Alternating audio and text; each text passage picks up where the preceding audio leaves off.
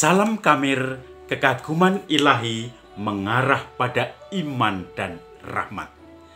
Saudara-saudari yang terkasih, saya memegang buku yang kekekalannya dijamin, yaitu buku mitologi. Ini mitologi Yunani yang disebutkan di sini Timeless Tales of Gods and Heroes. Ini artinya apa? Timeless artinya kekekalan di situ keabadian. Tales itu cerita tentang dewa-dewa, bagaimana dewa-dewa Yunani. Bayangkan, buku ini saya dalami ketika saya belajar tentang teater. 2003 sampai 2005 saya belajar tentang teater sebagai Romo tapi belajar teater. Hebat kan?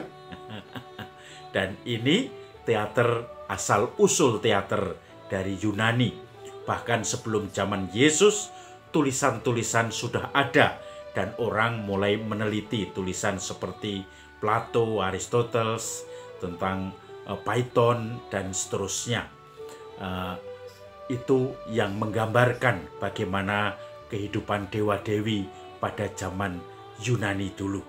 Saudara-saudari yang terkasih, kehidupan dewa-dewi ini menjadi muncul tak lekang oleh waktu.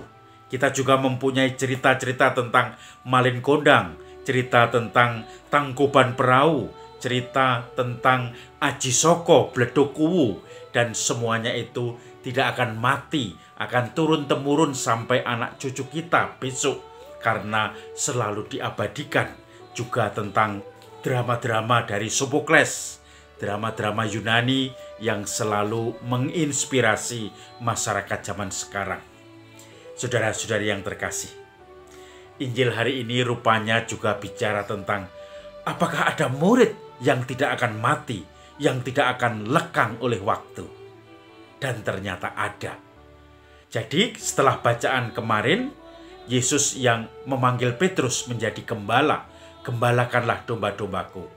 Maka setelah itu, ditutup bacaannya dengan ikutlah aku. Maka setelah itu Yesus berjalan dan kemudian Petrus bersama para murid yang lain mengikutinya. Tapi ketika Petrus menoleh, dia melihat pengikut lain yang dicintai Tuhan. Kemudian Petrus bertanya, "Apa yang akan terjadi dengan orang itu?" Yesus menjawab, "Kalau aku menghendaki, orang itu tidak akan mati, sampai aku kembali. Itu bukan urusanmu, tetapi kamu ikutlah aku. Dan kemudian murid yang lain yang dicintai oleh Tuhan Yesus yang bertanya ketika Yesus mengatakan ada di antara kamu yang akan mengkhianati aku. Terus kemudian Petrus mengatakan, coba tanyakan siapa. Maka murid itulah yang bertanya pada Yesus dia murid yang dikasihi Yesus. Kemudian Injil Yohanes berlanjut dengan mengatakan bahwa murid yang dikasihi Yesus itu yang tidak akan mati memberi kesaksian bahwa semua kehidupan Yesus, kesaksian akan mukjizat-mukjizat Yesus, pengajaran-pengajaran Yesus, tetapi juga salib dan kebangkitan Yesus, penolakan-penolakan banyak orang, tetapi juga penghiburan-penghiburan orang yang diterima dari Yesus. Semua dicatat detail sehingga orang itu menjadi saksinya. Ada dua hal yang akan kita bahas. Petrus itu sudah dipanggil oleh Yesus. Kita tahu Petrus mempunyai kelemahan cacatnya ketika menyangkal Yesus tiga kali sebelum ayam berkokok, tetapi sudah bertobat dan sekarang diangkat menjadi pengembala bagi domba-domba, primus inter pares. Tetapi apa yang ditanyakan pada Yesus?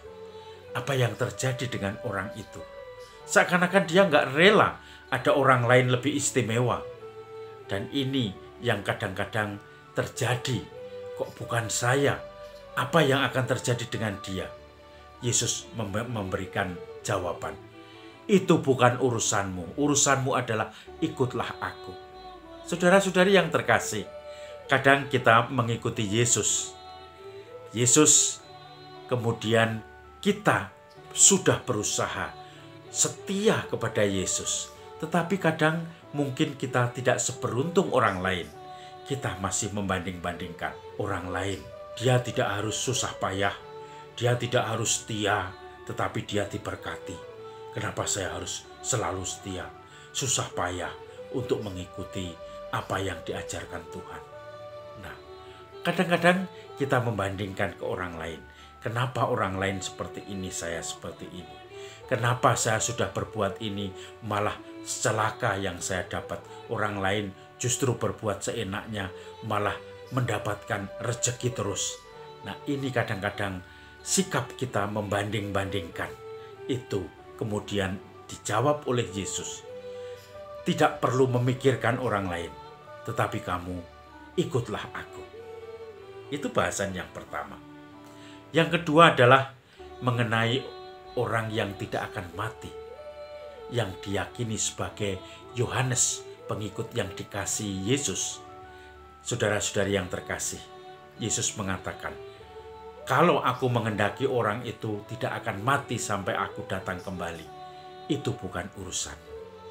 Tetapi ternyata nyata, tetapi ternyata tulisan-tulisannya itu juga tidak mati, seperti Sophocles tadi seperti eh, mitos-mitos dewa-dewi dari mitologi Yunani tidak akan mati sampai anak cucu kita, bahkan cicit-cicit kita, sampai akhir zaman selalu kekal.